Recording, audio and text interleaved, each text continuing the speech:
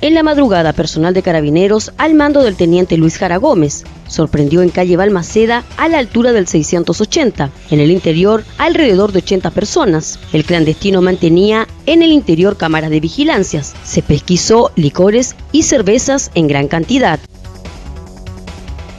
A las 10.15 horas, un joven fue encontrado en la vía pública con heridas de arma blanca. La situación ocurrió en Avenida Brasil, del sector Juan Pablo II.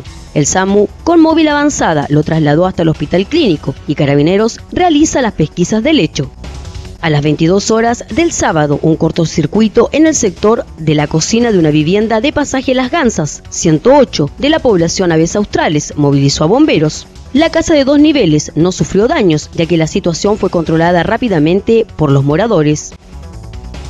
A eso de las 19.50 horas se produjo una fuerte colisión en las intersecciones de José Menéndez y Jorge Mon, cuando un Jeep Cherokee patente LDJ 431 impactó a un camión porte patente BCPT 41 que terminó chocando con un poste del alumbrado público. Dos personas del camión sufrieron lesiones de carácter reservado. El SAMU trasladó a los heridos hasta el hospital clínico. A las 15.30 horas se produjo una fuerte colisión en Avenida España e Independencia entre un vehículo Fiat patente MUC 137 argentino y un Hyundai BWZZ16. De este accidente resultaron las dos conductoras lesionadas e inmovilizadas por voluntarios de la unidad de rescate de la primera compañía y entregados al SAMU. Personal de carabineros adoptó el procedimiento para investigar las causas del accidente, quien no habría respetado el semáforo del lugar.